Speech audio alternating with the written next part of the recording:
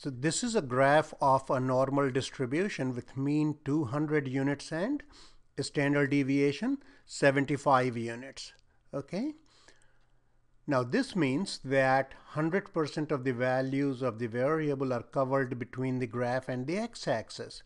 Therefore, the total area under this curve is 1 units if we treat that as proportion. Okay. Now, the total area under the curve is 1 unit and the mean is right here at the center.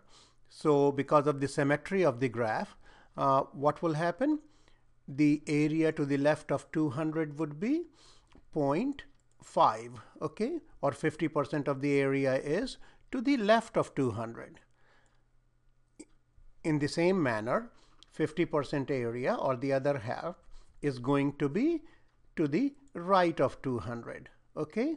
Now let's say we have uh, to do this answer the question that what is the area under this curve to the left of x equals 100 or in other words what proportion of the values of this variable are located to the left of x equals 100 now one way to do this is to go ahead and transform x to a standard score for you know, using this transformation rule for normal distribution that is z is x minus mu over sigma where mu is the mean of the population, which is 200 in this example, and sigma is the standard deviation, which is 75 in this example.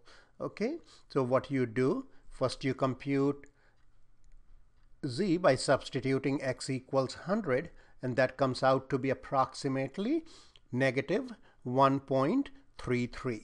Then you can use a table, and this is a you know, typical looking cumulative normal curve areas table.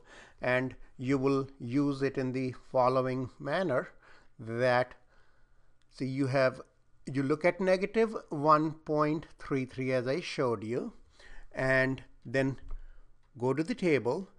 These values on the margin are the values for z. Now you are looking for negative 1.33, so negative 1.3 is right here. Locate that okay? I mean this is the area that we are trying to find right? Neg to the left of negative 1.33 so you go to the right of negative 1.3 and just go to the second locate the second digit here. So this value corresponds to negative 1.33 that is the area to the left of negative 1.33 is given by the number at this location, which is how much? 0 0.091759.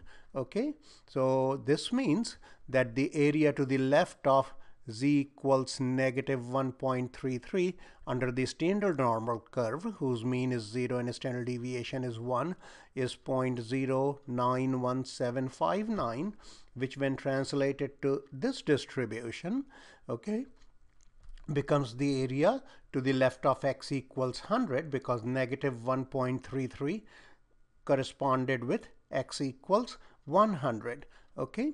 So or then your answer is about 9.1759% of the values of the variable are less than 100 units.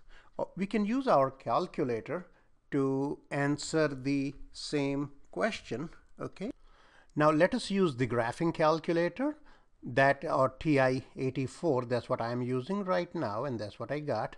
So in this case, what you can do is we are talking about distributions. So just go to distributions and normal being very frequently used is, is right here on the top. Now we are going to choose the option normal CDF. Okay. And first it wants the left end point, but here the problem is this that for the left end point you can uh, see that we don't really know how far to the left is it going to go because it just keeps on going forever with this x-axis as its asymptote. Never mind the world if you didn't hear of it, okay? So what we do is we will just go ahead and give it the smallest possible number that this calculator can handle all right that's my left value then I got a hundred okay then enter the mean and then enter the standard deviation okay? So what you have you have almost the same value and this and this are different because the use of z table did what? Rounded the values to two digits after the decimal and this calculation is going much farther okay? Now let's examine let's see this here.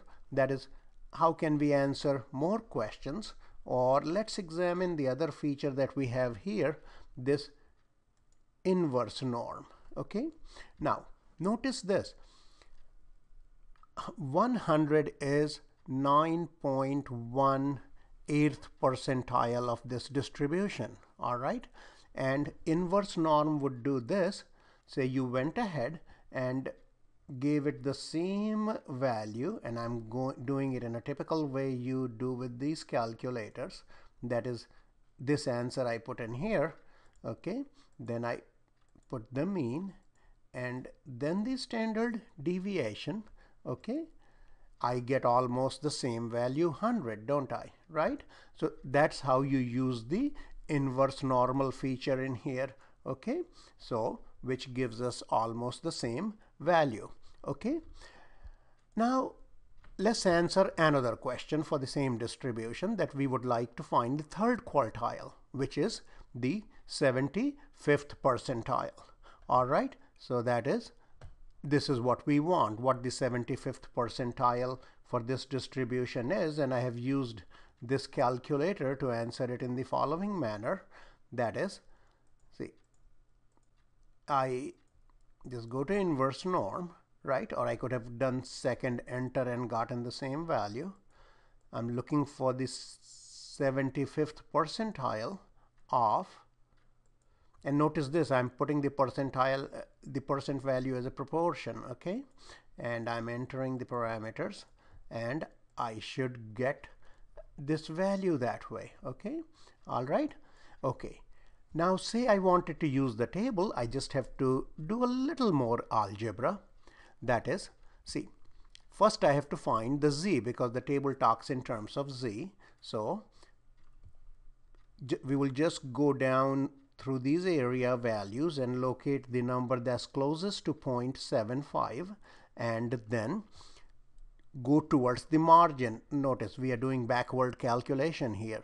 So here I have 0.6 and here I have 0.07. That gives us z approximately 0.67. But our objective is to find x. And x and z are related by this, per, this transformation and I know the mu and sigma for this. So I can substitute these guys here and multiply by 75 to get that. And then what you do, just as you did in your algebra 1, just add 200 to both the sides. And here you get the third quartile by using the z table. And of course, it's slightly different than that. And at the same time, notice this. Uh, this one, the calculator answer is a better answer because here we are rounding the z values off to two digits after the decimal sign. Okay. Now say we have to compute the percentage of values that are between 100 and 250. So if we are using the calculator, let's go to normal CDF, okay. Put the first endpoint, what's that? 100, all right. Then put the next one which is 250 then put the mean in and then the standard deviation okay so here what does it tell you that about 65.63% of the values are in between these two. And if you would like to use the z table, you had the area to the left of 100. You can get and get the z value for 250 and get the area to the left of 250. Take the difference.